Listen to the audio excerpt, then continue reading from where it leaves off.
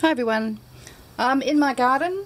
Uh, just going to show you um, three Bibles that I'm about to sell because my translations are changing and I have each of these, well these two kinds, uh, New King James, New King James and King James Bibles in other uh, premium versions. So I've got uh, three that I'm going to let go and I'm going to put them on my um, eBay channel.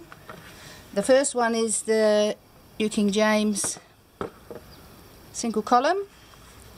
And um, all of these I've reviewed at different times. Don't know what to do with my box now because I've only got a little table. But it's um,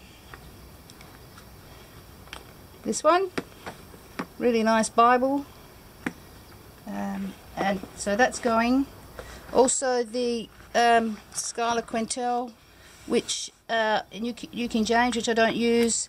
I've used a couple of times, but I have the Topaz um, in blue, so that one, and then the Cambridge Concord in calf split, which um, I've purpled and has uh, violet ribbons, which I've tucked in.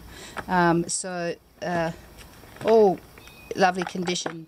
Just got a couple of scuffs maybe, that's all on the gilding, nothing drastic.